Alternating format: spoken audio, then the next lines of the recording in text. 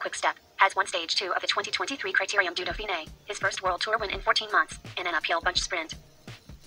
Richard Carapaz, EF Education EasyPost, surged ahead on the groupie uphill finish at La Chaise-Dieu, but Alaphilippe timed his move perfectly to claim the victory by over bike length. Carapaz settled for second, with Trek Segafredo's Natnael Tesfatsion in third.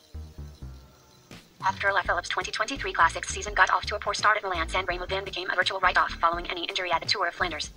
Alaphilippe's gesture as he crossed the line spoke volumes about the importance of his first victory since February.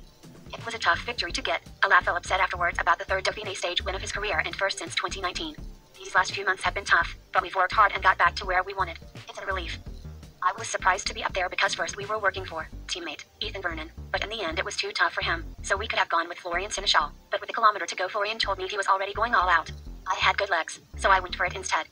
Alaphilippe's win represents a notable drop in pressure for the two-time world champion after his challenging start to 2023 and a 2022 campaign blighted by crashes, notably his nasty crash at Liège-Bastogne-Liège.